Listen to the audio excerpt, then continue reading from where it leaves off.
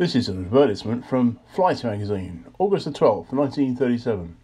Imperial Airways Empire flying boat Cambria used RTE radio equipment on the record double crossing of the North Atlantic Ocean. This apparatus was also thoroughly tested in the Canberra on the England South Africa survey flights. RTE refers to Radio Transmission Equipment Limited, who had an office at 225 Tottenham Court Road, London, W1, telephone Museum 3484.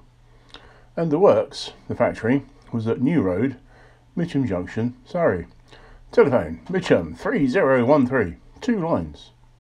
From the 24th of June 1937 edition of the same magazine.